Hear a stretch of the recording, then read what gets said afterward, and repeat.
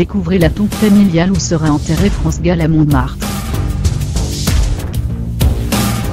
France Gall sera enterré au cimetière de Montmartre auprès de son époux, Michel Berger et de sa fille Pauline, décédée en 1997, des suites de la mucoviscidose le 12 janvier prochain.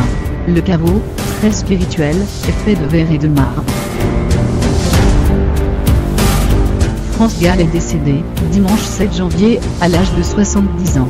Le public peut d'ores et déjà lui rendre hommage mercredi 10 et jeudi 11 janvier au funérarium du Mont Valérien. Elle rejoindra ensuite, dans la tombe familiale, son mari Michel Berger, décédé d'une crise cardiaque en 1992, et sa fille Paul Hamburgler, morte des suites d'une mucoviscidose, en 1997. Un caveau qui se distingue entre les autres tombes du cimetière de Montmartre. Sur un plaque de marbre, et grave, sont inscrits les noms de Michel Berger et de Pauline Hamburgler, se dresse une maison de verre qui laisse entrer la lumière.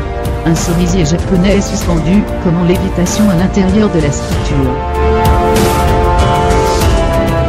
La chanteuse est décédée des suites d'une récidive de son cancer. Elle laisse derrière elle, son compagnon, Brut Daoui et son fils, Raphaël Hamburgler, 36 ans, le dernier de la famille. Tour à tour, il a vu disparaître son père et sa sœur, alors qu'il n'était qu'un adolescent producteur musical, il est le dernier héritier du patrimoine de ses parents, et va devoir reprendre le flambeau de la comédie musicale, Résiste que sa mère avait composé avec son conjoint.